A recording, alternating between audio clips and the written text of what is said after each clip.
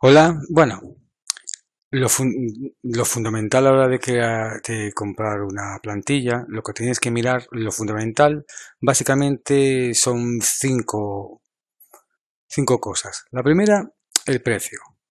Si una plantilla no vale, vale más de 55 euros, 60 euros, os aseguro que no os compensa, ¿vale? Una plantilla buena vale entre 50 y 60 euros. Segunda cosa que te debéis mirar cuando vais a un sitio como Template Monster o, o- como TM Forest o Elegantemas, cualquiera de estas. Lo que tenéis que mirar es cuántas veces, o sea, cuántas veces la han comprado. Si ha sido muy vendida. La gente no es tonta. Si algo se vende poco, si es porque lleva un poquito en el- en la página, puede ser. Pero si ya lleva un año que se publicó y ha vendido muy poquitas veces, es por algo, ¿vale? Es porque la plantilla no es muy buena. Otra cosa que debéis mirar también, aparte de las veces que se han vendido, es cuándo fue la última vez que se actualizó.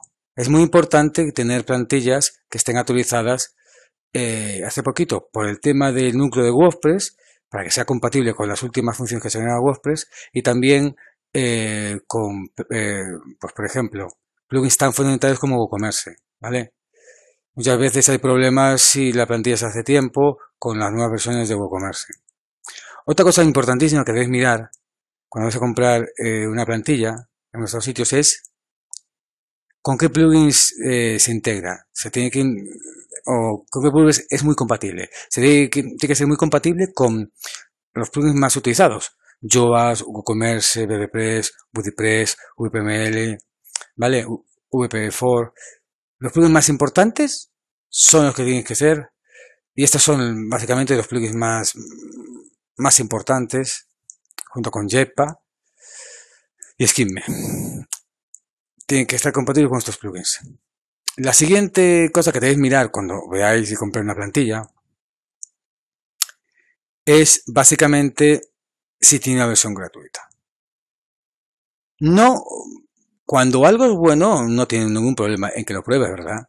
Malo si una versión solamente tiene, si una plantilla solamente tiene una versión pro. Malo.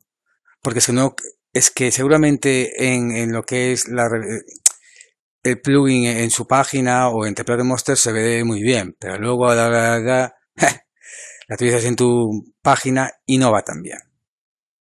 Escoger siempre plugins, perdón, escoger siempre plantillas que tengan versión free, que podáis probar, ¿vale? Porque incluso a mí me ha pasado el parecer una plantilla maravillosa y luego eh, pues no vale para nada, ¿vale?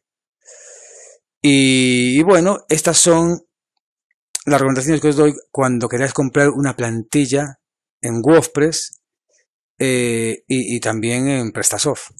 Bueno, y también otra cosita que también puede ser importante, que se me olvidaba, que es el tema de las valoraciones. ¿Vale? Algunas valoraciones pueden estar compradillas, pero la mayor parte de las veces las valoraciones también son indicaciones de que el cliente está, está satisfecho con la compra, ¿vale?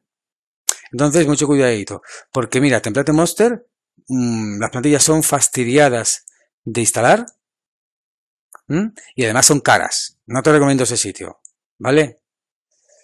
Aunque sí hay plantillas muy buenas, pero la verdad, puedes comprar plantillas bastante buenas en TM Forest, ¿vale? De hecho, en mi página, en mi blog, podéis ver, en Canasa Digital, podéis ver eh, plantillas que yo os recomiendo, ¿vale? Para blog de moda, para páginas de empresa, bueno, eh, ¿vale? Así que bueno, pues suscribiros a mi canal, que dentro de poquito empezaré eh, una serie eh, basada en el marketing digital eh, y en el growth hacking. Y bueno, posteriormente, posiblemente crearé otra serie basando, eh, hablando del Google Analytics y cómo puedes analizar una vuestra página para mejorar básicamente eh, las conversiones, ¿vale? Bueno, pues venga, hasta luego.